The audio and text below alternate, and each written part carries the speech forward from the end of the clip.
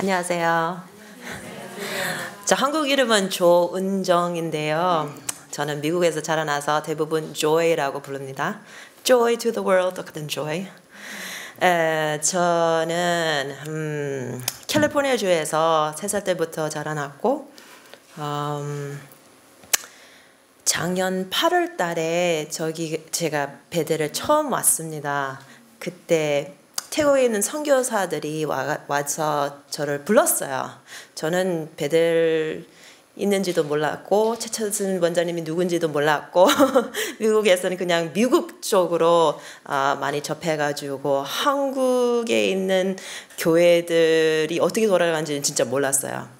아 근데 8월 달부터 여기 와서 진짜 좋은 경험을 했습니다. 어, 5년 전부터 제가 선교사로 일했는데 우리 여기 같이 봉사하는 언니가 우리 중국 나원자촌에서 만나는 언니가 있는데 거기 가서 하나님한테 완전히 굴복하고 인생을 주, 주, 주는 경험을 처음으로 했어요. 그래서 거기부터 많이 배웠는데 그때는 계속 우리 회개해야 된다. 회개해야 된다. 그 말은 엄청 많이 들었는데 제 자신은 그런 경험을 못 했어요. 근데 작년 8월 달 여기 와서 말씀 듣고 와, 하나님이 회개를 시켜 주는 거예요. 그래서 진짜 많이 울고 콧물도 나오고 그런 경험을 해서 그때부터 하나님하고 더 가까운 음, 관계를 맺었는 것 같습니다. 그래서 1년 동안 최차순 원장님하고 태국하고 동남아시아, 인도까지 봉사 계속해서 어, 많은 것을 배웠습니다. 이번에는 계시록 음, 연구하는 시간이 있어서 어, 특별하게 배우고 싶어서 믿음의 말미암은 의를 어떻게 계시록 통해서 풀 건지 궁금해서 왔습니다. 네, 반갑습니다. 저는 대구 중동교회 다니고 있는 서은미고요. 아, 저는 작년 11월 달에 여기 베델에 처음 왔어요. 이제, 이제 유방암 3기 말 예, 유방암으로 치료하러 여기 왔고 어, 그 여기 지내면서 제가 예수님을 만난 거죠.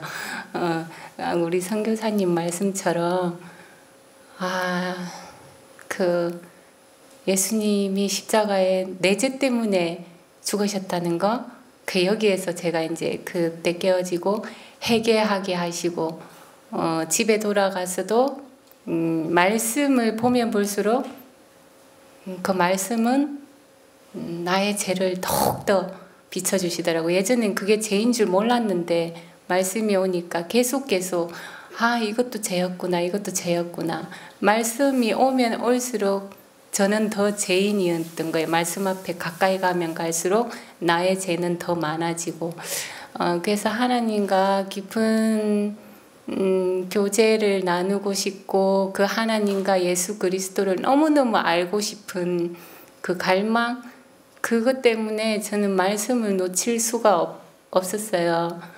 너무너무 행복하고 그 알아가는 기쁨이 너무너무 행복하고 그렇더라고. 그래서 요한계시록은 잘 되게 어렵잖아요. 잘 이해도 잘 안 되고 늘 성경 읽으면서 어, 저는 이렇게 기도해요. 하나님, 제가 알고 싶은 거 말고요. 하나님께서 내가 무엇을 알기를 원하는지 하나님께서 저한테 가르쳐 주시고 싶은 거 그거 알게 해 주세요. 이게 성경 읽기 전에 늘 그렇게 기도하거든요.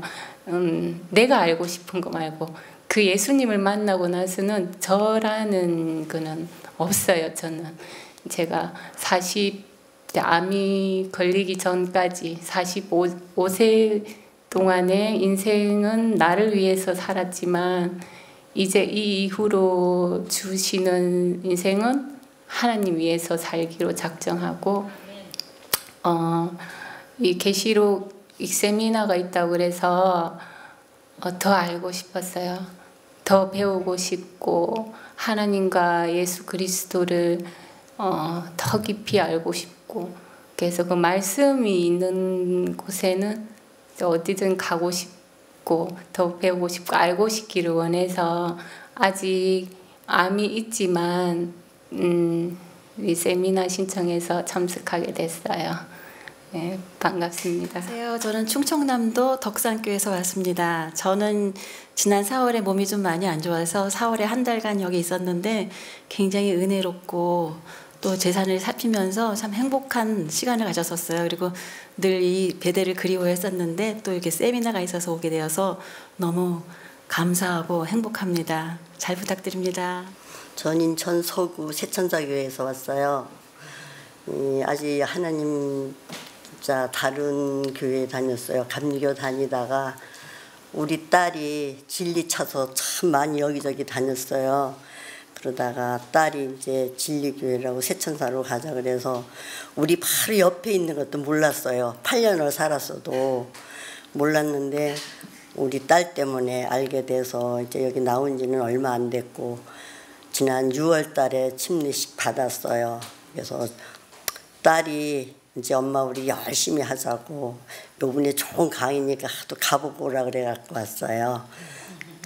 그래서 아직 모든 것을 잘 몰라요. 모르는데 이제 앞으로 열심히 하나님 말씀 안에서 살라고 노력하고 있어요. 감사합니다. 저는 서울의 태능교회에서 온 권용근입니다. 제가 8월에 그 왔다 갔거든요. 한 9일 동안 있었어요. 저는 원래 한 2년 전에 유방암 수술을 받고 항암도 다 하고 방사선도 다 치료를 받았는데 근데 저는 그거를 하나님 안에서 그 하나님이 다 치료해 주실 거라고 믿고 힘든 과정도 다 즐겁게 그걸 다 지나갔는데요. 그렇다 보니까 생활이 하나도 안 바뀌더라고요. 늦게 자는 습관이나 식습관도 하나도 바뀌지 않고 그대로 살아와서 진짜 변화가 필요하다고 생각돼서 장, 어, 8월 달에 와서 9일 동안 있었는데 굉장히 제 삶이 완전히 바뀌었어요. 그래서 9일 동안 여기서 말씀 듣고 어, 식사하는 법 배우고 운동하는 법도 배우고 어, 예수님을 만나고 그러다가 집에 가서도 여태까지 계속 실천하고 있었고요. 그리고 이제 그 어, 집에 가서 검사를 했어요. 6개월 정기 검사였는데 어, 고지혈증이 콜레스테롤도 높고 혈당도 있고 혈압도 높고 여러 가지 부작용들이 자꾸 생겼는데 그 9일 동안 제가 여기서 배운 덕택에 하나님을 알고 그런 것 때문에 다 모든 수치가 정상으로 돌아갔어요. 그래서 다시는 죄를 짓고 싶지 않은 마음에 여기에 참석했고요. 어, 앞으로도 계속 그 베델에서 배운 것들을 놓치지 않고 쭉 그렇게 살고 싶고 또한 제가 증인이 되어서 가족들 또 이웃들 또 주변 사람들한테 그걸 전달해 줄 수 있는 사람이 되고 싶습니다. 감사합니다. 어, 안녕하세요. 저기 저도 서울에서 왔고요. 태능교회 같이 단짝인데 지난달에 제가 이제 차로 태워다 주, 아, 제 이름을 얘기 안 했죠. 저는 김미화라고 합니다. 지난달에 언니 이제 요양 이쪽에 올 때 제가 태워다 주고 하루 머물렀다 이제 돌아갔는데 단 하루였지만 어, 저한테 주었던 그 메시지들이 되게 은혜가 많았어요. 그리고 어, 근래에 저도 이제 부모님으로부터 물려받은 신앙이어서 제가 아는 하나님이 아니더라고요. 그냥 누가 누가 그렇더라. 그런 전해받았던 하나님이더라고요. 그래서 제가 잘못 오해하고 왜곡되고 있던 그런 하나님들도 많았고, 어, 이제, 음, 말씀을 전 나름으로 좀 이제 찾아가고 있는 단계고, 또 하나님을 만나고 싶어서 계속 알고 싶어서 공부하고 있는 단계고요. 그리고 개인적으로 2월에 어, 여기서 이제 그 임광은 집사님이라는 분을 만나게 됐는데 이제 그분도 여기서 하나님을 만나셨다고 하시더라고요.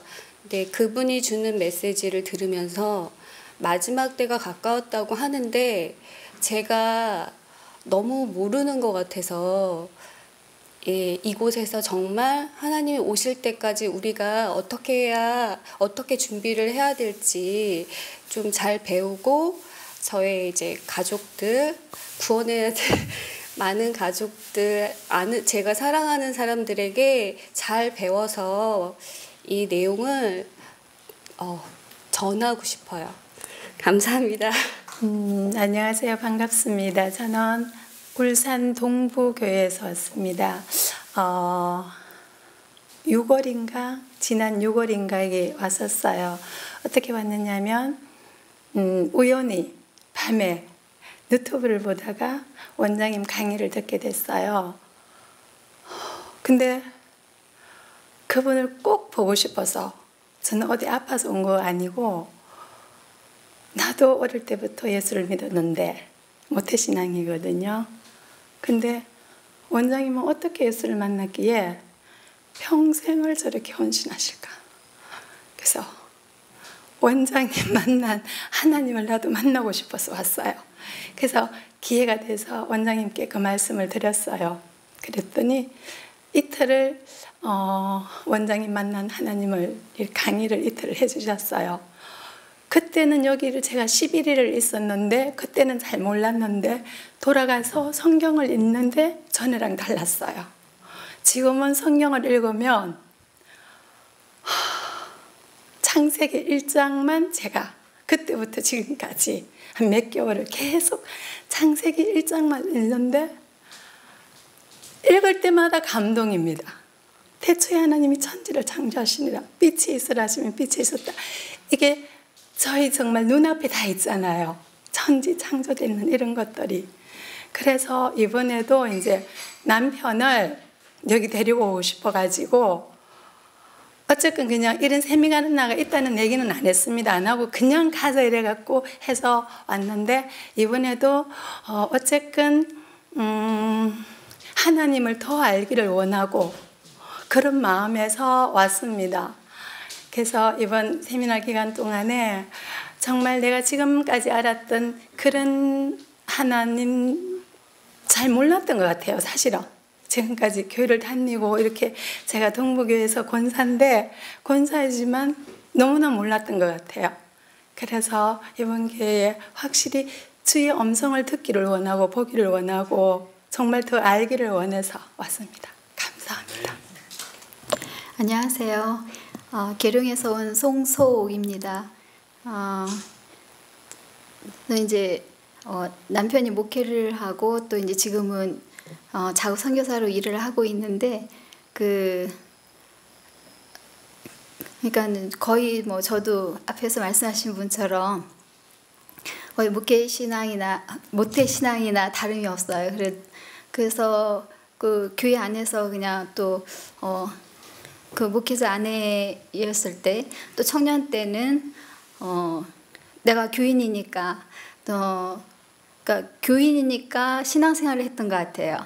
예, 교인이니까 그리고 어, 또 목회할 때도 또 내가 목회자 아내니까 목회자 아내로서 충실하려고 애썼던 것 같고 어, 그러니까는 어려서부터 지금까지 이렇게 신앙이 음, 내가 그러니까 교인이니까 이렇게 해야 되고 그런 거에 충실하려고 노력을 했었고 좀 그랬던 것 같아요. 근데 어, 하나님께서는 그 시대 시대마다 그 제가 어렸을 때 교회에서 듣던 그런 기별들하고 또 시간이 지나면서 그 기별들도 변하는 것 같고 또 개인적으로도 하나님께서 어, 그 사람한테 그때그때 필요한 기별들을 또 주시는 것 같아요.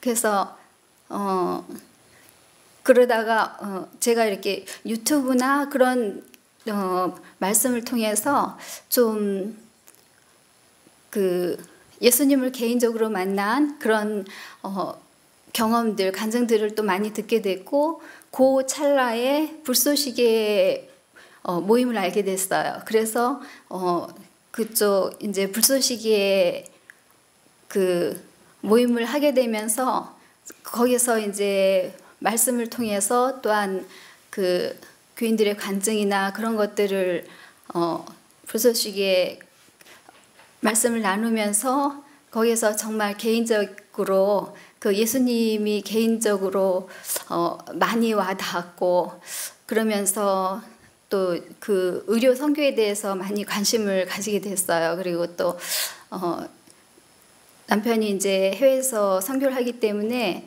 어, 같이 이렇게 다니면서 내가 어, 그곳에 가장 필요한 것이 무엇일까 생각할 때 의료 선교가 가장 필요하겠다 그런 생각이 이제 들었었는데 그 요번에도 이제 오기 전에 그 이제 직, 제가 직장을 다니니까 열흘 동안 이제 빠질 수가 없잖아요.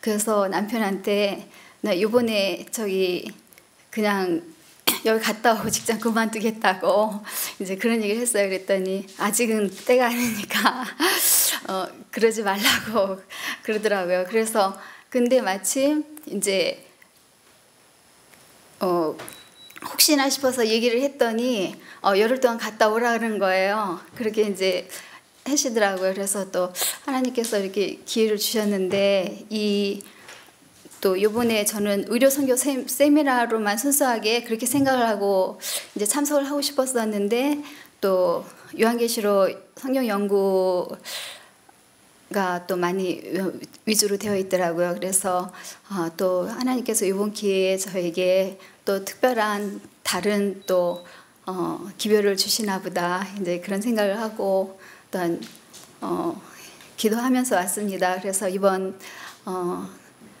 열흘 동안의 그 이곳의 경험을 통해서 또한 하나님께서 어떻게 저에게 인도하시고 그것을 이곳에서 배운 것을 어떻게 또 어, 활용하실지 기대가 됩니다.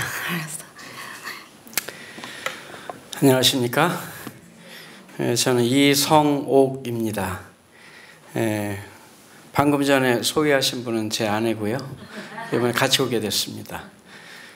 예, 저는 충청 앞에서 한 10여 년 동안 목회하다가 한국연합에서 마운틴뷰 대학교라고 그 필리핀 민다나오에 있는 우리 삼육대학교인데 거기에 파송을 받아서 제가 한 3년 정도 일을 했습니다.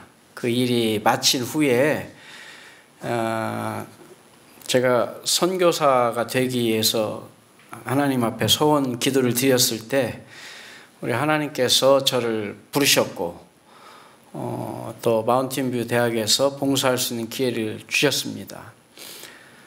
그런 후에 아, 제 소속이 충청합회이기 때문에 제가 다시 돌아오라고 하는 부름이 있었는데 제가 소원을 하나님께 드렸기 때문에 제가 선교사로 가기 위해서 기도를 하게 됐어요.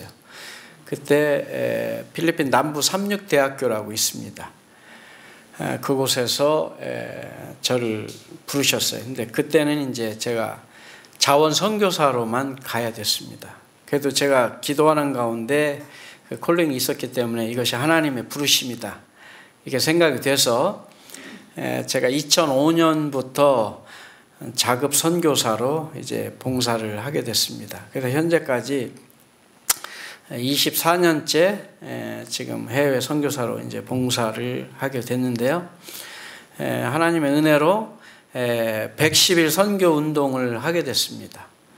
아, 그래서 지금은 필리핀뿐만 아니라 미얀마, 말레이시아, 태국 이번에 여름에도 세 나라를 다녀왔어요. 그렇게 하면서 예, 작업 선교를 지금 하고 있습니다.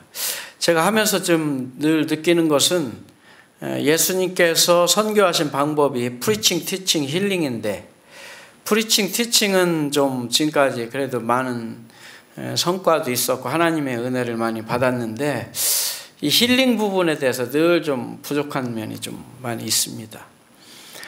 그래서 이번에 제가 오게 된 동기는 이 힐링 부분을 의료 선교를 좀 나름대로 좀 배우고 선교지에 좀 접목하는 그런 시간을 좀 갖고 싶어서 이번에 왔고 또 요한 계시록을 통해서 다시 한번 제가 자급 선교사다 보니까 나누어 주는 것뿐만 아니라 제가 얻어먹는 게 참 많이 좀 부족해요. 그래서 그런 것들을 좀 많이 배워서 제가 다시 필드에 돌아가면 그런 것들을 좀 활용해야 되겠다 이런 생각이 있어서 이번에 참석하게 됐습니다. 좋은 시간이 되기를 기원합니다. 감사합니다. 네, 울산에서 온 이유식 집사라고 합니다. 요한계시록에서 어, 계시록이라는 이 세 글자가 저를 강력히 끌어서 오게 됐습니다. 어, 많이 배우고 많이 느끼고 또 예수님을 또 만나는 그런 시간을 보내기 위해서 왔습니다. 존귀한 여러분을 만나서 반갑습니다. 예, 고맙습니다. 안녕하세요. 서울 신답교회 다니는 김재순입니다. 저는 어, 2년 전 3월 23일 날 들어와서 4월 22일 날 퇴실하고 어, 가서 생활하는데 너무 좋았습니다. 여기 와서 그 정말 느낀 거기에 어, 제가 여기 오게 된 동기가 남편이 뭐 병이 이병저병 많기는 많습니다. 그런데 투석을 하게 됐어요. 투석을 하게 되면서 너무 갑자기 이 닥친 일이라 정말 암담하고 어, 정말 아무것도 눈에 안 보이는 상태에서 이러저러 몇, 시, 몇, 몇 년이 지나고 나서 이제 사람들이 자꾸만 여기 갔다 온 사람들이 여기 좋다고 가라고 가라고 가라고 계속 그러는데도 어, 우리 남편이 투석하는 사람은 거기 갈 필요가 없다고 아, 괜찮대. 한번 가보자고 그래도 투석을 하는데 거기를 받아주지도 않을 분들은 가면 안 된다고 얘기를 하고 의사한테 얘기했는데도 안 된다 하더라. 이래서 그냥 접고 접고 있다가 결국은 그러면 나 혼자라도 갔다 올 테니까 당신 혼자. 제가 없으면 남편은 안 돼요. 제가 매일 샤워를 하고 나면은 투석을 집에서 하거든요. 복막 투석이라고 하루에 네 번씩 하는데 그거를 하고 나면 제가 소독을 계속 해드려야 되고 이러는데 제가 없으면 안 되는 상황이잖아요. 근데 난 나 혼자 갔다 오겠다. 그럼 당신 집에서 혼자서 해라. 그리고 애들한테 얘기를 했어요. 나는 아빠가 안 갈라 하니까 엄마라도 살아야 되겠으니까 엄마도 당뇨가 있고 하니까 엄마가 가겠다. 그러니까 애들이 다 모여와서 아빠 다녀오세요. 다녀오세요. 이래가지고 여기를 처음에 이번에도 그랬지만 그때도 예약할 때 되게 두려운 마음으로 했어요. 혹시 짐이 많잖아요. 복막투석은. 그리고 또 이렇게 번거로우니까 안 받아주면 어떡하나 하는 그런 걱정 때문에 조심스럽게 전화했고 처음에는 투석한다 소리도 안 하고 예약을 하고 오기 직전에 저희가 이렇게 투석을 해서 약이 갑니다 하고 와서 어 1개월을 잘 보내고 갔는데요. 하여튼 여기 가, 다녀가고 난 다음에 남편이 너무 많이 좋아졌어요. 보는 사람마다 음식 조절도 여기 왔다 가고 나서 많이 잘 되고 저도 또 어, 여기 다녀가고 나서 육류를 한꺼번에 딱 끊었습니다. 지금까지 제가 한 번도 진짜 안 먹었습니다. 어, 애들은 뭐 엄마가 그렇게 하면 자꾸 건강이 나빠진다고 선교사까지 다녀온 애들이에요. 저희 애들이 딸 둘 다. 그러는데도 이 애들이 고기를 못 끊어요. 지금도. 그런데 엄마 어 아빠도 몸이 안 좋은데 엄마까지 안 먹으면 엄마 어떻게 되려 그러냐고 제가 조금 그때보다는 살이 좀 빠졌거든요. 한 4kg 빠졌는데 걱정을 하지만 그때보다 몸이 훨씬 더 움직임이 좋아졌어요. 저도. 그래서 매일 오고 싶고 또 가자고 남편한테 졸르고 졸르고 하는데 남편이 안 오시는 거예요. 안 오려고 하는데 이번에 저기 여미 집사님이 문자가 들어왔어요. 어머 이때가 이때다.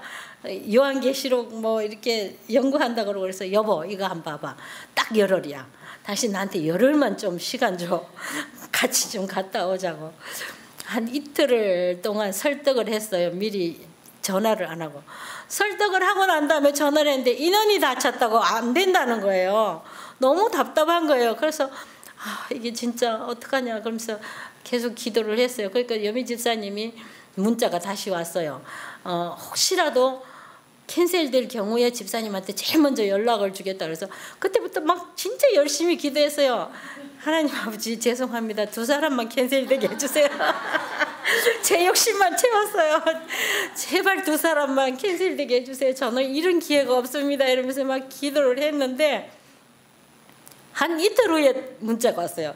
집사님 여기 캔슬 딱 두 사람이 났어. 빨리 접수해. 이래갖고 이지연 전도사님 전화번호를 가르쳐 주셔가지고 선교사님한테 전화해가지고 저 이렇게 해주십시오 해서 이렇게 오게 됐습니다. 이번에도 선교사님한테 투석한다는 얘기를 못했어요. 속이고 왔어요.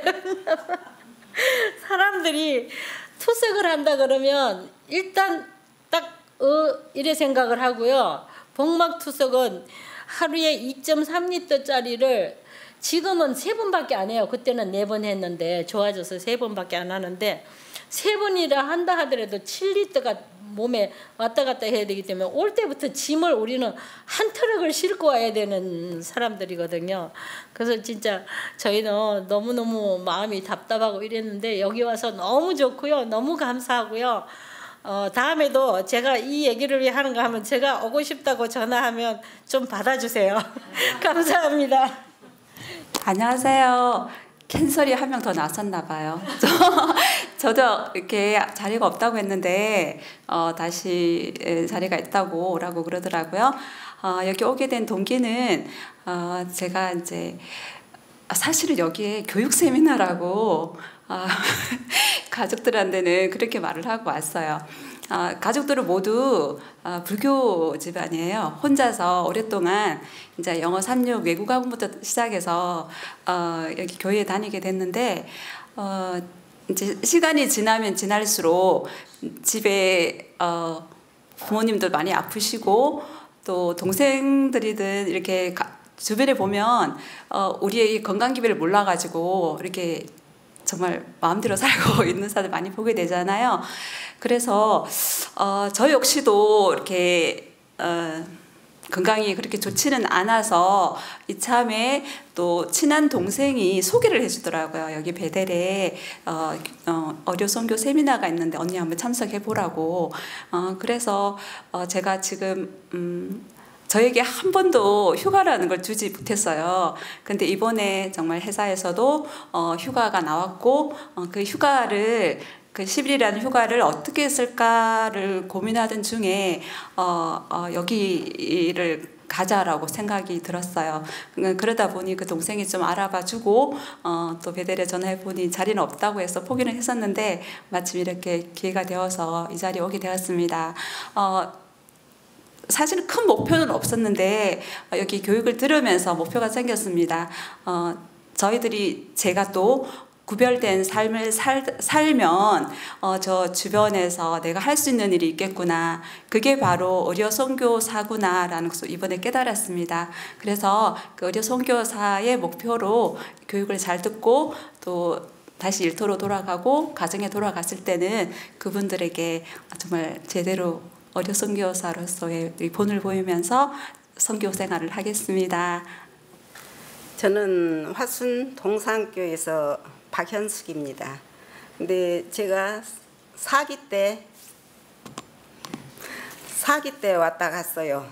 근데 이번에도 딸이 추석 때 이제 좀 아빠랑 가서 꼭좀 보충시켜서 말씀으로 그러고 갔다 오라 해서 이제 좀 일찍 이렇게 신청을 한다고 했는데 저도 자리가 없다고 하더라고요. 그래서는 포기를 하고 이제 가족끼리 여행을 가기로 했어요. 그래가지고 어디 예약해놓고 그랬는데 갑자기 좀 전에 두 자리가 딱 남았다고 그래가지고 저 둘이 이렇게 그러면 아빠하고 엄마하고 갔다 오라고 그래서 이렇게 왔는데 정말 하나님 저희를 이렇게 인도해 주셔서 너무 감사합니다. 안녕하세요. 저는 우리나라 북단 포천에서 온 박광순입니다. 아, 사실 저는 이 의료 선교 세미나 하는 줄을 몰랐어요. 어, 그런 어, 우연히 뒤에 최순일 목사님과 통화하는 가운데 최순일 목사님께서 지금 휴가 중이신데 이쪽을 갈 계획이 있다고 그래요. 그래서 아, 저도 참 가고 싶다. 저도 가고 싶어요. 했더니 그냥 가세요. 아, 그래요. 저도 그럼 가겠어요. 이렇게 해서 오게 됐는데 그 이전에 이제 이전에는 참 이렇게 다니고 싶어도 직장 때문에 다니지를 못해가지고 그랬었는데 주변에 다녀오시는 분들 보면 참 부러웠어요. 어, 하동에 다녀오신 분은 안 계시지만 Back to Eden이나 뭐 이렇게 새노남 쉼터 그쪽으로 김용군 장로님 운영하시는 그쪽으로 다녀오신 분들이 많은데 참 부럽더라고요. 나도 좀 가서 좀 충분하게 휴식도 하고 또 하나님과의 개인적인 관계도 맺고 싶다 이렇게 참 부러웠었는데 직장을 이제 그만두게 되었어요. 그래서 남편이 어디라도 좀 가서 쉬고 오면 좋겠다고 그렇게 얘기를 하는 거예요. 그래서 어디가 좋을까 하던 참에 목사님과 통화를 하게 됐고 목사님께서 가신다고 해서 음, 같이 가면 좋겠다고 했을 때 목사님이 또 흔쾌히 그 거기는 소중한 화폐라서 안 됩니다. 이럴 줄 알았어요. 여기는 어, 영남 화폐만 가능합니다. 음, 저는 영남 화폐에 소속돼 있는 분들에 한해서만 이 집회가 어, 진행되는 줄 알았어요. 그래서 왠지 좀 여기 오기 전까지는 괜히 좀, 좀 그렇더라고요. 그랬었는데 와서 보니까 이렇게 어, 지역이 국한된 게 아니고 열려 있더라고요. 이렇게 어느 지역이든지 원하면 올 수 있고 미국에서도 오신 분도 계시고 해서 그래서 마음이 좀 많이 편해졌는데요. 어, 초창기에 이곳에 방문한 적은 있어요. 그때 어, 아시는 분이 이곳에 계셔서 어, 이제 병문안 온 적은 있는데 제가 이렇게 프로그램에 직접 참여하는 건 처음이거든요. 근데 참 오고 싶었던 것은 저 개인적인 신앙 회복도 회복이지만 이렇게 주변의 한우분들을 봤을 때 아 이런 곳에 참 가면 좋겠다 권하고 싶다 하는데 아는 게 없더라고요. 이곳이 어떤 곳이다라고 말해줄 수 있는 거가 없더라고요. 그래서 아 정말 가서 한번 보면 아 그곳은 어, 어떤 곳이고 또 그곳의 비용은 얼마이고 그곳에 또 뭐 말씀은 어떠하고 이런 걸 한번 와보면 자신 있게 권할 수가 있겠더라고요. 그래서 이번에 아 정말 요한계시록은 또 하나님께 주신 선물 같아요. 저는 처음에 요한계시록은 하는 줄 몰랐거든요. 그냥 우리 서종한 앞에서 운영하는 의료 선교사 세미나는 주로 뭐 건강 쪽으로 이- 이런 쪽인데 어, 이렇게 요한계시록을 병용하는 거는 여기서는 처음이거든요. 그래서 어, 언제부턴가 아 계시록을 체계적으로 좀 공부하고 싶다. 그래서 제가 저희 교회 전도사님께 한번 부탁한 적이 있어요. 전도사님 어, 요한계시록을 체계적으로 공부하고 싶은데 강사로 좀 이렇게 활동해 주시면 안 되겠냐 하니까 본인은 바쁘고 그리고 또 이게 상당히 이, 이 엄청난 깊이가 있는 거기 때문에 어, 시간이 많이 소요돼서 안 된다고 그래서 한번 시도를 하다가 이렇게 못한 적이 있거든요. 근데 정말 하나님께서 너무 사랑해 주셔서 이곳에서 또 요한 계시록까지 공부하게 돼서 너무너무 감사하고요. 이제 한번 다녀갔기 때문에 주변에 또 이렇게 이런 어, 이제 그 요양을 필요하시는 분들에게는 정말 자신 있게 또 권할 수도 있고 또 여기에서 이제 뭐 몇 번 듣진 않았지만 나 자신부터 적용해야 된다는 것 때문에 아 제가 집에서는 나름 그래도 이렇게 좀 음, 이제 한다고는 좀 했었거든요. 고기를 딱 끊지는 못하고 고기를 먹되 살코기만 먹자 기름기는 제하고 그래 그렇게 부분적으로는 나름 저 나름은 한다고 했는데 이제 여기 와서 이렇게 우리 그 최차선 원장님 말씀 듣고 우리 전도사님 말씀 듣고 이래서 아 뜻을 딱 정하고 딱 돌아서야겠다. 이렇게 결심을 딱 해야겠다는 그런 또 이렇게 어, 지금 생각 그런 생각이 있고요. 정말 에, 정말 우리 몸으로 하나님께 산제사 드리기 위해서는 정말 뜻을 정하여야겠고 정말 그 이제는 뭐 부분이 아니라 이제 돌아가면 완전한 음, 그런 음, 그 결단을 해야겠다 하는 생각을 하게 돼서 하나님께 감사를 드립니다. 안녕하세요. 어, 지금은 어, 미국에서 나왔고요. 집은 원래 경기도 하남시에 있는 동성학교에 있는 남해봉입니다. 아, 베델은 한 20년 전부터 많이 알고 있었는데 한 번도 오겠다는 마음은 요번에 갑자기 제가 몸이 좀 안 안 좋은 면이 생겨서 오게 됐고요. 어, 유튜브로 많이 봤듯이 이 뒷배경이 아 저기 뭐구나 참 반갑습니다. 하나님께서 여기로 인도해 주신 것 같습니다. 감사합니다. 안녕하십니까. 저는 전라북도 그 남원시에서 남원 어, 남원서 왔습니다. 남원 동산교회 다니고 있습니다. 저는 아마 여기 어, 세미나에 아마 세 번째 참석하는 것 같습니다. 아 그러면은 그 저는 많이 바, 바뀌어져 있어야 되는데 아직도 참 그렇습니다. 그리고 또 조금 방전되는 거 재충전하러 와 있습니다. 감사합니다. 예, 친구 따라서 강릉 간다고 방금 소개를 하고 들어간 예, 하장로님 교회 다니는 임재규입니다. 예, 요한계시록을 여러 번 접할 때가 있었는데 한 10여 년 전에 접하고 접어들 못 있어요. 그 김진규 장로님 아시죠? 아시신 분 손 들어 보세요. 김진규 장로님. 요한계시록 한국 달인이죠. 그분이. 예, 그분한테 좀 배우고 책자도 여러 번 읽고 그래서 좀 의문스러운 것도 많고 그래서 이번에 여기 오면은 좀덜 알아, 덜 알까 싶어서 여기 왔습니다. 무쪼록 반갑, 만나봐서 반갑습니다. 고맙습니다. 감사합니다. 네, 반갑습니다. 저는 부산 아, 단감교회에서 온 박민수라고 합니다. 아, 저희 아버지가 아프셔서 어, 그동안 말로만 들었는데 배대에 오게 됐고요. 7월 달에 잠깐 2주 동안 있다가 아, 아버지 좀 편히 계시게 해주기 위해서 제가 먼저 다시 부산으로 내려왔습니다.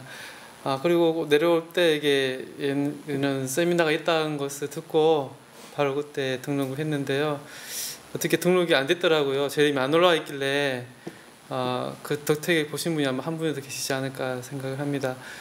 어, 이번 세미나는 어, 사실 가족들이 한 번 더 참여를 같이 하면 좋은데 어, 또 다시 또 저만 올라오게 되는데요. 아, 뭐 앞서 말씀하신 분들이 다 한결 같이 먼저 자신이 변화돼야지 가족들을 이렇게 인도하실 수 있는 것 같습니다. 그래서 저도 먼저 제 자신이 먼저 아, 하나님과 만나는 시간 통해서 어, 변화되는 아, 되고 이렇게 또 의료 선교 전도법이라는 것도 아, 잘 배워서 주위 같이 일하시는 분들이나 또 동료분들한테 아, 제 방법이 아닌 하느님의 방법으로 어, 전할 수 있는 아, 것을 배우고 가는 시간이 되었으면 좋겠습니다. 감사합니다. 저는 울산중앙교회에서 왔는 박예규 장로입니다. 예. 저는 사기 때 작년 추수 때도 한번 왔거든요. 사실 그때는 그때도 이렇게 소개를 했습니다. 어떻게 봤느냐고요. 사실 저희 집사람한테 잡혀왔거든요. 그러니까 지금처럼 많, 많은 분들이 이렇게 막 묻고 했습니다. 원래도 사실 잡혀왔습니다. 참 너무너무 이게 귀한 시간이라서 정말 이게 열흘 동안의 휴일 아닙니까? 그런데 정말 참 좋은 데 가고 싶고 막 그랬는데 아, 한참 동안 이게 양보하고 실험하고 이렇게 하다가 막 에라 모르겠다 막 가고나 보자 해가지고 그래 왔습니다. 참 죄송합니다. 예. 하여튼 좋은 시간 됐으면 좋겠습니다. 예, 감사합니다. 저는 울산 중앙교회 정영이라고 합니다. 조금 전에 저희 남편 작년에도 억지로 왔는데 올해도 제가 이제 요한계시록 한다는 그 이제 메시지를 보고 제가 사실 열흘 동안 우리가 울산에 있으면 뭐 여행 가는 것도 아닌도 아니고 그냥 아무 그거 없이 그냥 추석 때 이제 그 시댁에 갔다가 왔다가 이제 이렇게 보낼 것 그게 뻔해서 제가 어, 요한계시록을 이게 한다고 이제 신청을 했어요. 했는데 저도 지금 결혼하고부터 교회를 나왔는데 제 자신을 보면 아직도 변화되지 못한 그런 모습들 너무 안타깝고 이래가지고 여기 제가 네 번째 여기 참석을 했는데 올 때마다 조금씩 조금씩 정말 조금씩만 다른 분들은 한 번 참석하면 확 바뀌는 그런 분들이 간정 굉장히 부럽고 저는 정말 조금씩 조금씩 바뀌는 걸 이제 느끼고 제가 온전히 바뀔 때까지 계속 참석하고 싶습니다. 그리고 이제 저희 이제 딸도 이렇게 두 번 참석했는데 전에는 뭐 통밀빵이나 이렇게 현미밥 해놓으면 절대로 손도 안 대요. 아예 밥도 아예 먹지도 안 하고 엄마마 열심히 먹고 건강해라 이러고 그랬는데 우리 딸이 두번 참석했는데 지금 그 현미밥과 통밀빵 엄마 이렇게 그거 필요하니까 좀 시켜달라고 이렇게 제가 너무 그 이 변하는 모습이 너무 감동이고 저는 이 병이 났다 뭐 이러면 무조건 그 애나 어른이나 무조건 그냥 베델로 보내고 싶어요. 감사합니다. 만나 뵙게 돼서 반갑습니다. 어, 저는 통영 천문교에서 온 박태희라고 합니다. 어, 제가 여기 배대를 뭐 안 지는 오래됐고 그러나 이렇게 오기는 처음이고요. 그냥 뭐 잠시 누구 환자 모셔다 드리러 이렇게는 온 적이 있지만 참석해 본 적은 처음이고요. 어, 근데 뭐 오고 싶기는 작년 추석에도 오고 싶었는데 어, 그때는 저희가 영주를 살았고 영주가 굉장히 멀다고 생각했는데 멀어서 오기가 시간 내기도 참 힘들다고 생각을 했었는데 어, 더 멀리서 많이 오셨네요, 그죠? 예, 그래서 아마 결단력이 부족했던 것 같다라는 생각이 들고요. 근데 제가 어, 저는 20대 때 세천사의 기별을 들으면서 제 마음이 굉장히 이 뭐라고 해야 되나 뛴다고 해야 되나 뭉클한 그런 느낌을 받, 어, 경험을 한 적이 있었어요. 어, 창조주 하나님을 기억하고 어, 하나님께 영광을 돌리고 바벨론에서 나와야 되고 뭐 이런 것을 들으면서 아, 아 그런 거구나 이런 생각을 한 적이 있었는데 제가 지금 나이가 60이거든요. 20대 때 들, 들었으니까 30년이 훨씬 넘었죠.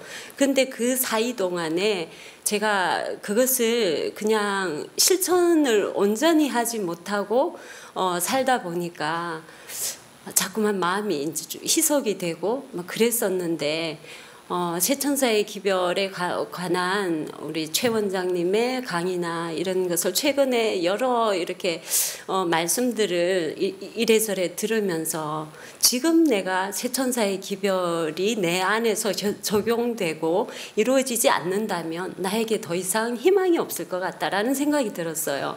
그리고 어, 우리가 세천사의 기별을 우리 아침에도 노래를 불렀었잖아요. 세천사의 기별을 전하라.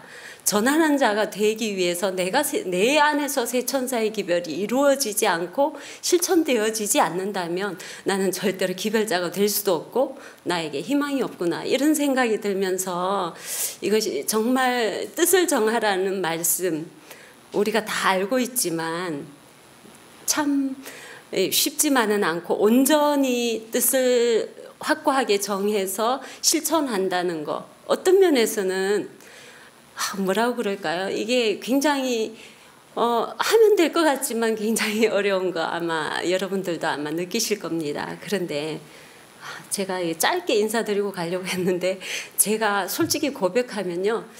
어, 언제부턴가 새벽에 눈을 딱 뜨면 4시 44분이 눈에 잘 들어와요. 이상하게 제가 나중에 생각하면서 천사가 나에게 보여주는 것일까? 뭐 이런 생각이 들면서 여러분 딱그 깜깜한 밤중에 4시 44분이 눈에 딱 띄었을 때 어떤 마음이 드실까요? 여러분은 어떠실까요? 어떤 마음을 가지실까요? 어, 저는 그게 죽을 사자 세계로 보였어요. 그래서 제 마음에 늘 내가 온전한 실천과 또 증인이 되지 못하는 삶에 대해서 이게 늘 부담이 있었던 것 같아요. 그러면서 어, 나에게 은혜의 시간이 끝나는 때가 아닐까? 내가 더 이상 미루고 온전한 이 뜻을 정하지 않는다면 나의 은혜 제가 남편한테도 이런 고백을 제가 뭐 죽을 사자로 보인다 이런 말은 제가 한 적이 있는데 이렇게까지는 고백을 하지 않았습니다. 제가 오랜 시간 그래도 하나님을 믿는다고 하면서 또 이 머리로 아는 것을 실천하지 않았을 때 오는 어떤 그 나의 마음의 어, 이 죄책감 불안감 이런 것이 딱 봤을 때 죽을 사자 세, 세 개로 보이는 거예요. 그 다음에 보이는 글자 5시 55분. 여러분 뭘로 느꼈을까요? 화, 화, 화로다. 이렇게 보이는 거예요, 저는. 그래서 제가 너무 많은 죄책감에 살았던 것 같아요. 그러면서 제가 문득 떠오르는 생각이 이게 천사가 나에게 보여준 거라면 왜 내가 사자 세계를 새 천사로 보지 않았을까? 그 생각이 드는 거예요. 그래서 아 내가 죽을 사자로 보지 말고 새 천사로 보고 새 천사를 실천할 수 있도록 내 의지를 다시 하나님께 네, 점검하면서 그러지 않으면 세상에 사람들은 마지막 때라고 하지 않습니까? 그죠? 지금 뭐 여러 가지 세태를 보면서 마지막 때라 하는데 저는 세상의 마지막 때보다 내 개인의 저 지금 나이가 60인데 내 개인의 삶에 이게 지금 아니면 마지막 때를 놓치는 기회가 은혜의 시간이 나에게서 끝나버릴 것 같은 그런 마음에 휩싸여 있는데 아마 제 남편은 저의 이런 마음까지 모를 겁니다. 그래서 제가 좀 더 뜻을 정하는데 도움을 받고 싶고 자극도 받고 싶고 그래서 이곳에 왔습니다. 여러분들의 도움에 기도를 부탁드립니다. 사사사 남편입니다. 지금 통영 전문교회를 맡고 있는 현직 목회자입니다. 아, 21년째 목회를 하는데요. 목회를 늦게 나와서 제가 한 달 조금 전에 허리 수술을 받았어요. 디스크 협착증 수술을 받고 설교를 할 수 없어서 설 수 없어서 합회다 양해를 구하고 한 달간 병가를 냈습니다. 그래서 경주 조용한 곳에 한 20일 있다가 이곳에 모임이 있다 그래서 이왕 쉴겸 말씀도 좀 듣자 그렇게 해서 저 사사사 하게 돼 왔습니다. 아, 제가 통영에 가기 전에는 그 전에 진주에서 있었기 때문에 환자가 생기면 우리 이쪽으로 많이 모셔오고 또 여기서 또 환자들이 또 회복돼서 나가서 진주에 계신 분이면 우리 최 원장님이 또 말씀해 주셔서 또 교회로 같이 이렇게 인도하는 그런 왕래가 자주 있었던 것입니다. 그런데 와서 한 번도 자지도 못하고 말씀도 못 듣고 그냥 왔다 갔다가만 하다가 이번에 이제 말씀 우리 최 원장님 말씀이 늘 이렇게 쉽게 말씀하신 그 말씀을 좀 듣고 우리 요한계시록 강의하신 우리 최규문 목사님 그 전에 이미 알고 있던 목사님인데 우리 젊으신 목사님도 또 말씀도 잘하시고 제가 몰랐던 부분을 좀 다시 더 배우고 이곳에 와서 영육간에 좀 힐링을 좀 하고 또 모르는 분들 좀 만나 뵙고 이렇게 왔습니다. 여기 앞에 서신 분들이 전부 자기 소개를 하라고 하는데 설교들을 얼마나 잘하시는지 자기 소개만 하고 가겠습니다. 제 아내와 딸 둘이 있습니다. 행복하게 살고 있습니다. 하나님 안에서 감사합니다. 소개하러 나오신 줄 알았더니 예, 강의 들으러 나오셨다네. 예, 감사합니다. 아, 시간을 잘 엄수해 주셔서 감사합니다. 원래 이 배정된 시간이 4시 반까지인데요. 예, 생각보다 30분 일찍 끝났습니다. 원래는 네, 이 시간이 원래 제가 강의하는 시간인데 예, 제가 자기소개 시간이 길어질 것 같아서 제 강의를 빼고 이제 자기소개 시간만 집어넣는데요. 이왕 시간이 남았으니까 이왕 모인 김에 우리 여기 말씀하셨던 분들 말씀만 잠깐 나누고 마치도록 하겠습니다. 아, 들어보니까 네, 첫 번째 의구심이 이건 것 같습니다. 하나님 말씀대로만 하면 과연 병이 낫는가? 어떻게 그게 가능한가? 예, 묻는 질문이죠. 예, 하나님 말씀대로만 하면 병이 낫겠습니까? 안 낫겠습니까? 생각으로는 나을 것 같은데 현실적으로는 안 날 것 같아요. 네, 네. 그런 죄가 아, 병의 근본적인 원인이라는 것을 인정하지 않을 때 예, 하나님께서 병을 나을 수 있게 해주신다는 것을 인정할 수 없습니다. 그러나 내가 병에 걸린 모든 것이 죄 때문이라는 사실을 내가 깨닫게 되는 순간 아, 이 병의 문제는 예, 다른 문제가 아니고 죄의 문제구나라는 사실을 알게 됩니다. 예를 들면 식사, 생활 습관, 그리고 내 마음의 문제들이죠. 예, 이런 것들이 병을 일으키는 가장 근본적인 원인입니다. 식사가 부절제하거나 아니면 생활 습관이 엉망이거나 아니면 내 마음이 너무 번민하거나 속상하거나 스트레스 받거나 예, 이럴 때 예, 이럴 때 우리가 병에 걸립니다. 근데 식사를 마음대로 할 수밖에 없는 이유는 내가 그렇게 먹고 싶어서 먹지 않습니다. 예, 우리 비만에 걸린 환자분들, 네, 그리고 예, 나쁜 음식 참 많이 드셨던 그분들, 예, 곰곰이 따지고 보면 본인도 너무나 잘 알고 계세요. 이렇게 먹어선 안 된다는 사실을 예, 요즘은 상식이 굉장히 풍부한 시대이기 때문에 뭐가 건강식이고 뭐가 건강에 좋지 않은지 세상 사람들도 다 압니다. 옛날에 1980년대만 하더라도 이게 지식이 없어서 예, 몰라서 그랬다 치지만 요즘 시대는 절대 그렇지 않습니다. 특히 요즘 젊은 세대들은 너무나 잘 알고 있습니다. 이거 이렇게 먹으면 안 된다는 건 너무나 잘 알고 있어요. 그러나 본인도 알면서도 고치고 싶지 않아요. 그러니 가진 이유를 갖다 붙입니다. 누가 이거 먹으면 건강에 좋다더라 하는 얘기만 들으면 그 얘기만 내 마음속에 품고 싶고 이것은 건강에 좋지 않다더라 하면 이 마음은 품고 싶지가 않은 거예요. 이러면 안 되는 거 뻔히 알면서도 죄를 버리고 싶지 않은 나의 마음 때문에 예, 결국 무엇입니까? 내가 하고 싶은 것을 하고 싶은 그 욕망 때문에 결국은 식사의 부절제함이 이르러 옵니다. 처음에는 죄로 시작되었지만 예, 그래서 모든 부절제함은 식탁에서부터 비롯된다고 우리 식생활에 보면은 우리에게 얘기하고 있지 않습니까? 처음에는 나의 죄로 시작됐지만 나중에는 우리 인간은 죄의 노예가 됩니다. 죄의 노예가 되어서 예, 버리고 싶어도 버릴 수 없는 지경에 이르게 됩니다. 이렇게 안 하고 싶은데 안 할 수가 없어요. 그냥 단순히 아 오늘 나 저녁 때 그냥 내 의지가 약해서 내가 이런 거 먹나 보다 이렇게 생각하시겠지만 실상은 그렇지 않습니다. 과감히 내가 죽으면 죽었지 절대 끊으리라 생각해.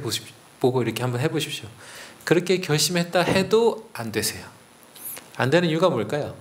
우리가 죄악에 이미 노예처럼 네, 되어 있기 때문입니다. 네, 사도 바울이 왜 오호라 나는 공고한 사람이로다 울부짖으면서 그 기록을 성경에 남겼는지를 정확하게 이해하게 되죠.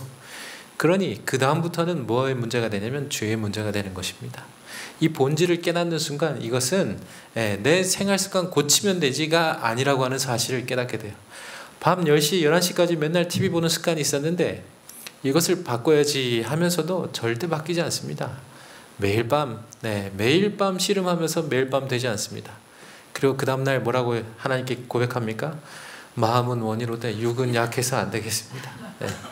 하나님 이런 죄인도 다 용서해 주시죠? 라고 오늘 또 넘기는 거예요. 예.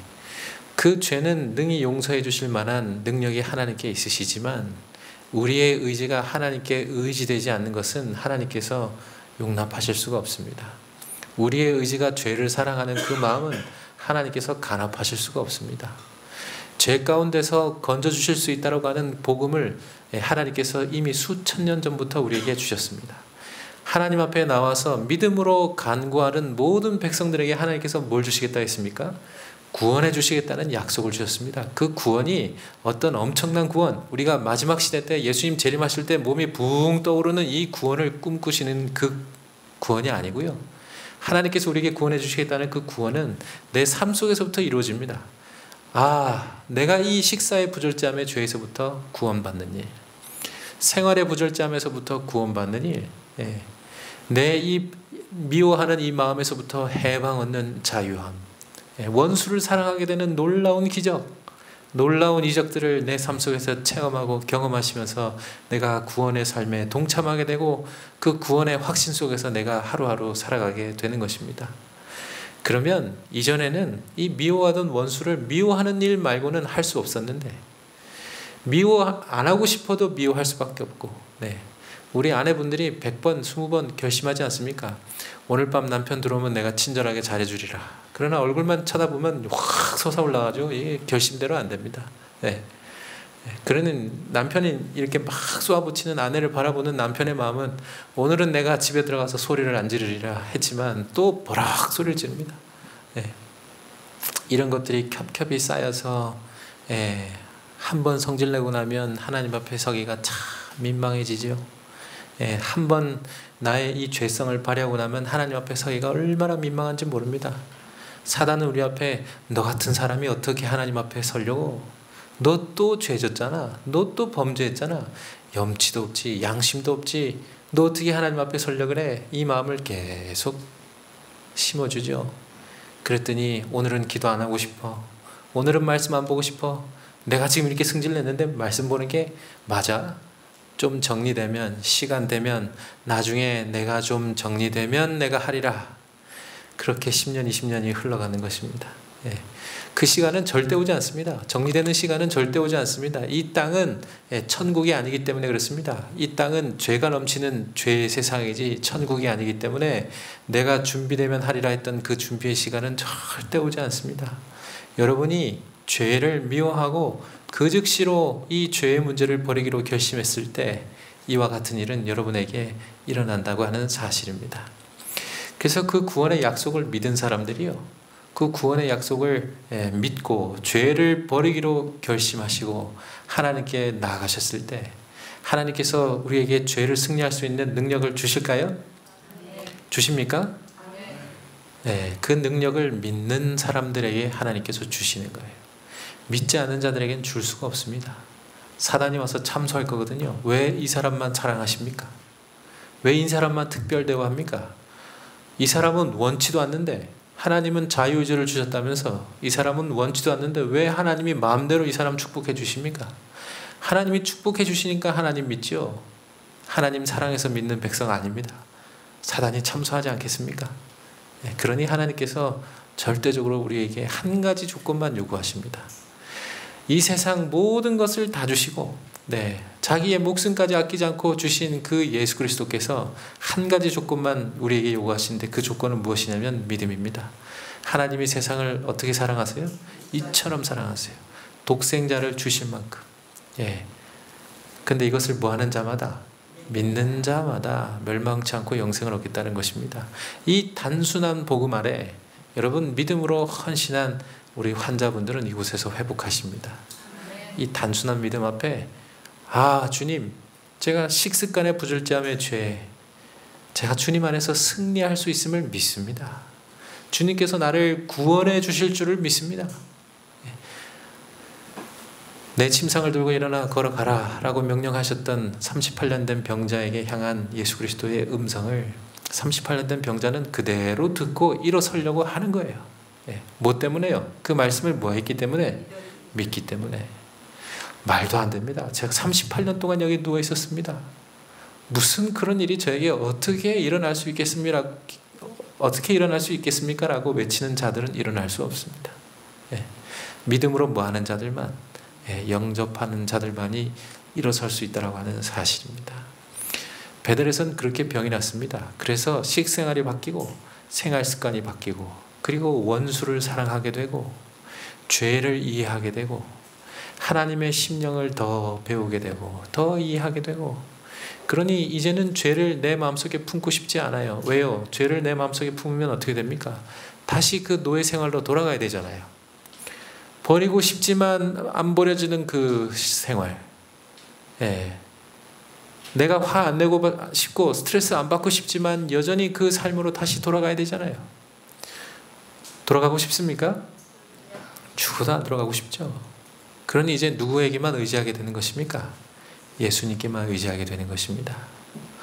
그러나 여전히 죄를 사랑하시는 분들은 다시 돌아가십니다. 여전히 죄를 사랑하시는 분들은 그래서 우리가 죄를 버리지 못하는 까닭은 하나님의 능력이 부족함이 있어서 그런 것이 아니고요. 예, 우리가 죄를 사랑하기 때문입니다. 예, 죄를 너무나 좋아해요. 그게 문제입니다. 그래서 이 좋아하는 이 죄를 주님 앞에 갖다 드려야 주님께서 우리를 새 마음에 창조해 주시는데 이 죄를 그 고스란히 가지고 있으면 변화가 되지 않는 것입니다. 그래서 여기 오셔서 낫는 환자분들은 어떤 분들이십니까? 예, 내 죄를 그분 앞에 다 드리기를 원하시는 분들, 이제 하나님 율법에 따라 살기를 원하시는 분, 복음 앞에 믿음으로 나아가시는 분들, 이런 분들이 회복하시는 겁니다. 그래서 이전에 있던 모든 것은 다 사라지고, 네, 이제는 죄가 싫어요. 그 다시는 그 죄의 삶으로 돌아가고 싶지 않습니다. 그랬더니 그럼 앞으로 내가 죄를 안 짓느냐? 죄를 짓죠. 왜요? 사단은 이런 사람들만 골라서 시험하니까. 예. 하나님 앞에 나아가려는 자, 하나님의 율법을 온전히 세우려는 자, 하나님의 율법을 온전히 예, 지키려 하는 자들은 예, 사단이 눈에 볼 때 얼마나 눈에 가시겠습니까? 그런 사람들만 골라서 시험하죠. 아주 극심한 시험. 우린 욕과 같은 시험을 겪게 될 겁니다. 예. 그럼에도 불구하고 죄가 우리 몸속에 들어오면, 우리 마음속에 들어오면, 예, 우리는 경험했잖아요. 증인이잖아요. 하나님께서 우리와 함께 계신다는 증인이시고 하나님이 나를 사랑하신다는 증인이시고 이 복음 안에서 승리할 수 있다는 경험을 하신 이 믿음의 사람들은요 죄가 다시 들어오면 예, 죄를 비록 졌지만 이 죄에서 버리고 싶은 몸부림을 치게 되어 있습니다. 주님, 제가 또 죄가 있습니다. 이 죄 버리게 해주세요. 이 죄 제발 제 속에서 버리게 해주세요라고 몸부림치며 예수님께 또 뛰어가게 되어 있습니다. 예수님 앞에 선 모든 영혼들은 또 다시 승리를 경험하게 되어 있죠. 그렇게 승리를 경험하면서 우리는 믿음의 성장을 가져오도록 되어 있습니다. 그것이 성화의 삶입니다. 예, 그렇게 성장하는 것입니다. 그렇게 날마다 날마다 성화의 삶을 하루하루 살아가다 보면 하나님께서 우리의 삶 속에 충성되고 착한 종이라 예, 하나님의 인을 우리 이마에 쳐주시는 날이 있게 될 것입니다. 그게 바로 세천사 기별이죠. 예, 믿음으로 맺는 의의 기별이고 예, 그것이 세천사 기별입니다. 우리 앞으로 원장님께서 정리를 잘 해주실 겁니다. 제가 짧은 시간에 요약해서 드렸는데 예, 하여튼 예, 그렇습니다. 그렇게 병이 회복되어지는 것입니다. 한 번 병이 회복되어진 것이 능사가 아닙니다. 지금 있던 암이 없어지면 내가 회복된 것입니까? 아닙니다.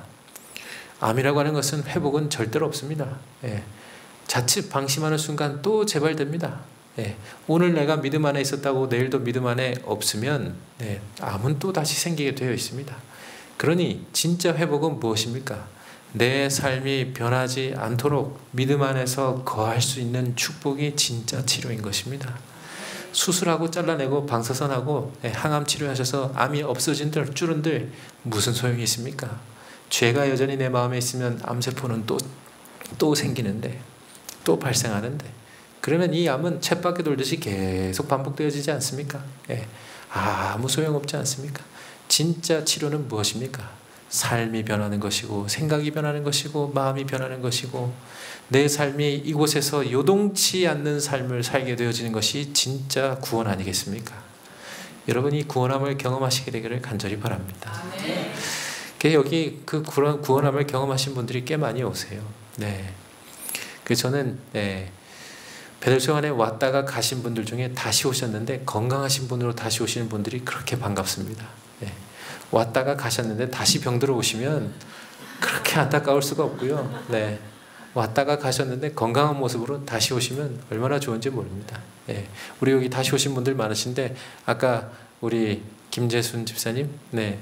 너무 좋아지셨다고 했는데 이런 분들 너무 반갑죠. 그죠? 우리 또 서미 씨 다시 오셨는데 너무 반갑고, 예. 건강한 모습으로 다시 뵐 수 있는 게 얼마나 기쁜 일인지 모릅니다. 병 치료는 그렇게 하는 것입니다. 그러니 바깥에서 하는 치료가 얼마나 예, 임시적인 치료인지 몰라요. 진짜 치료약은 없습니다. 다 증상만 완화시킬 뿐이지 그때만 반짝 좋을 뿐이지 또는 한 가지를 낫게 하면 한 가지를 악화시키는 약을 먹게 되지 예, 진짜 치료는 없는 것이에요. 진짜 치료는 사람이 죄를 버릴 때 있을 수 있습니다. 더 나아가서 그러면 언제까지 온전할 수 있는가를 따지다 보면 결국 사람은 다 죽게 돼 있잖아요. 그러니 마지막에 다 봉착하게 되는 것은 무엇입니까? 우리의 영생의 문제, 죄의 문제. 이것까지도 주님 앞에 나오는 사람들은 복음 앞에 있는 사람들은 이것까지도 하나님께서 제해 주신다는 사실. 영생으로 우리를 이끌어 주시고 영원한 삶으로 우리를 인도해 주신다는 사실. 예, 얼마나 좋은지 모릅니다. 예, 여러분 이 구원함 속에 동참하시게 되기를 간절히 바랍니다. 그 다음 두 번째, 예, 아까 전에 얘기하시는 것 쭉 들어보니까 나부터 변화돼야지 되겠다라고 말씀하셨어요. 예, 참으로 그렇습니다. 예, 새천사 기별을 하나님께서 예, 뭐 하라고 주셨냐면 전하라고 주셨습니다. 그럼 새천사 기별을 전하는 통로는 무엇일까요?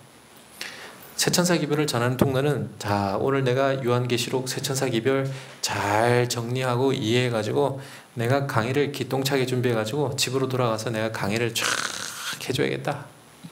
그러면 사람들이 다 회심하고 돌아오겠지. 아무도 안 돌아옵니다. 아무도 안 돌아옵니다. 오늘 어떤 분이 그러시더라고요. 예.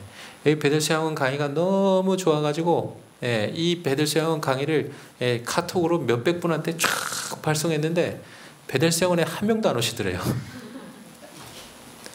똑같은 강의를 들었는데 예, 누구는 감동을 받고 누구는 감동을 못 받습니다. 예. 강의만으로는 네, 절대로 이 기별을 전파할 수가 없습니다. 기별을 전파하는 것은 무엇으로 하는 것이냐면요. 네, 이론이나 지식으로 하는 게 아니고 뭘로 하는 것이냐면 삶으로 하는 것입니다. 예, 삶으로 하는 것이에요. 삶이 수반되지 않은 기별 전파는 다 죽은 것입니다. 예, 삶이 없는 기별 전파는요 수없이 많은 의혹과 의문을 만들어낼 겁니다. 사람의 언어는 얼마나 간사한지 모릅니다. 빈틈을 반드시 찾을 수 있어요. 사람의 언어는 너무나 허점이 많은 도구예요. 그래서 말장난을 하기 시작하면요 얼마나 많은 예, 의구심들이 생기는지 모릅니다. 그러나 경험되어진 것은요 이것은 의구심을 예, 표현할 길이 없습니다. 예를 들면 어머님이 나를 사랑하셔. 예, 말로만 하면요. 예, 이제 빠져나갈 구멍이 너무 많아요. 예, 어머님이 어떻게 너를 사랑하시는데? 아니 매번 밥도 차려주시고 밥만 차려주시면 너를 사랑하는 건가? 막 따지고 들면 막 따질 게 많아요. 그죠? 그러나 엄마랑 같이 살아본 이 아들은요. 엄마가 나를 향한 눈빛, 예, 손길, 그리고 그 모든 삶 속에서 나를 향한 그 희생 그런 것들이 경험되어졌죠. 이걸 다 설명할 수가 없어요. 설명되어져서 이해하는 것과는 차원이 다른 것으로 뭐 하게 되냐면 그냥 아는 거예요. 하나님이 나를 뭐, 어머니가 나를 뭐 하세요? 사랑하세요. 그냥 사랑하심을 이걸 내가 부정할 수 있습니까? 절대로 부정할 수가 없어요. 그죠? 네. 절대로 부정할 수 없는 거예요. 네. 그러니 예. 옆집 사는 사람이 아, 저 집 엄마는 저 아들을 참 사랑해. 라고 얘기하는 것은 아무런 힘이 없고요. 예. 그 아들이 제가 우리 어머니랑 살아보니까요. 우리 어머님이 저를 얼마나 사랑해 주셨는지 모릅니다. 하면 반박 불가입니다. 이거는 더 이상 반박할 수가 없어요. 맞아요. 아들이 그렇다면 그런 거지요. 네. 경험에서 우러나오는 아, 이 간증이 아니고서는 이 세천사 기별은 절대로 전파되어질 수 없습니다. 예. 여러분의 최초의 선교지는 어딜까요? 여러분 마음 밭입니다. 예, 내 마음 밭입니다. 예. 그리고 그 다음 선교지는 어딜까요? 내 배우자입니다. 내 배우자. 내 배우자와 내가 온전한 하나님의 사랑을 이룰 때에만 그 자녀들이 하나님의 사랑을 배울 수 있습니다. 예. 남자와 여자가 서로 만나서 결혼하는 이 제도는 하나님과 사람이 사랑하는 방법을 꼭 닮은 모양이기 때문에 그렇습니다. 예. 성경은 뭐라고 기록했습니까? 남자와 여자가 서로 뭘 이루라고요? 한 몸을 이루라고 되어 있습니다. 어저께 제가 강의하면서 하나님과 우리가 뭐 해야 된다 그랬습니까? 동행해야 된다 그랬죠. 그 동행은 어떤 동행을 그랬습니까? 이렇게 나란히 걷는 거 아니고 어떻게 된다 그랬어요? 하나 돼야 되는 거예요. 예, 우리가 그분 안에 거하고 그분이 누구 안에 거하는 것이에요? 우리 안에 거하는 것이에요. 배우자와의 관계가 하나님께서 설정해 주신 관계는 그렇습니다. 그래서 첫째로는 하나님을 사랑하고 둘째로는 누굴 사랑하는 것이에요? 이웃을 사랑하는 것이에요. 예. 그 사랑의 관계가 회복되어져야 예, 그것이 사랑이 되는 겁니다. 그것이 사랑이 됨을 경험해야 자녀들이 그 사랑을 경험하는 거예요. 예. 사랑은 사랑이 낫지 사랑이 아닌 그 어떤 도구가 사랑을 깨우쳐 줄 수 없기 때문에 그렇습니다. 그래서 우리가 하나님을 사랑하는 것은 우리 안에 사랑이 있어서가 아니고요. 하나님이 먼저 우리를 사랑해 주셨기 때문에 우리가 하나님을 사랑하게 되는 것입니다. 우리 자녀들이 하나님을 알 수가 없어요. 이 죄된 세상에 하나님을 볼 수 있는 길이 없습니다. 물론 말씀에 있고 천연계 속에 있지만 이 아이들이 말씀 보고 천연계 보나요? 잘 안 보죠. 그러면 누가 보여줘야 됩니까? 그 예수님의 그 대리자로 부르심을 입은 사람들이 누굽니까? 부모 아니겠습니까? 그럼 부모님은 뭘 통해서 보여주시는 겁니까? 네. 얘야 저기 좋은 집회 있다 저기 한번 가봐라 억지로 등 떠밀어 가지고 집회 보내주시는 걸로 하나님 사랑 보여주시겠습니까? 집회 가서 은혜 잘 받고 집에 돌아오면 부모님 사시는 거 보면 말짱 다 깨지는데 예, 그걸로는 절대 사랑을 보여줄 수 없습니다.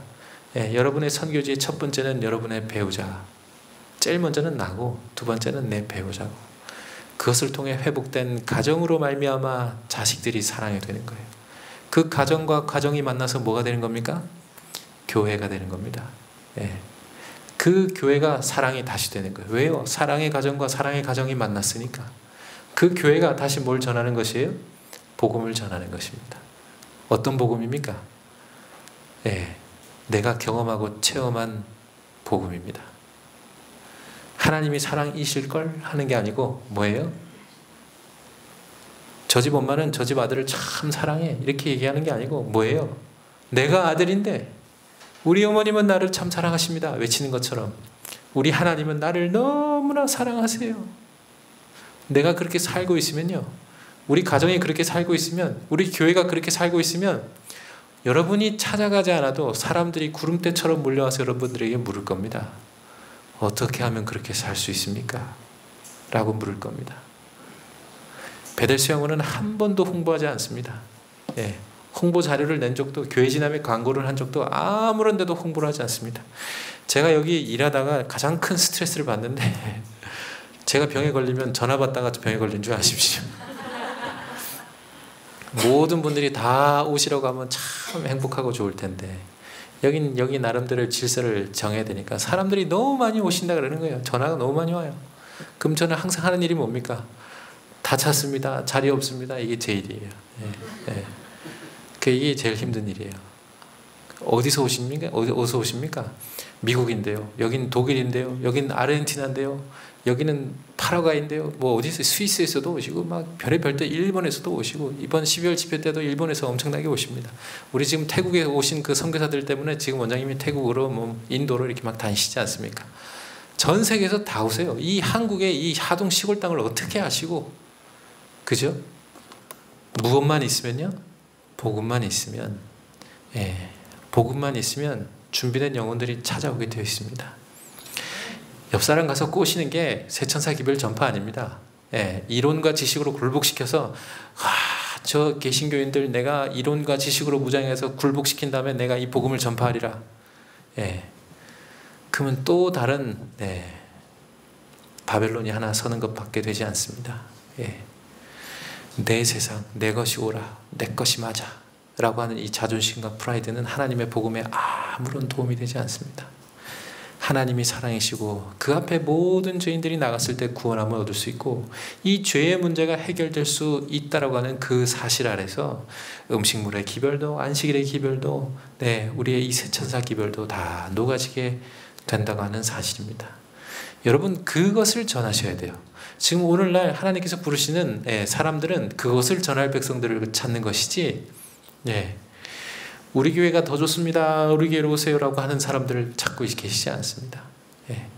사람 구름대처럼 많이 모아가지고 큰 교회 만드는 것을 하나님께서 원하시지 않습니다.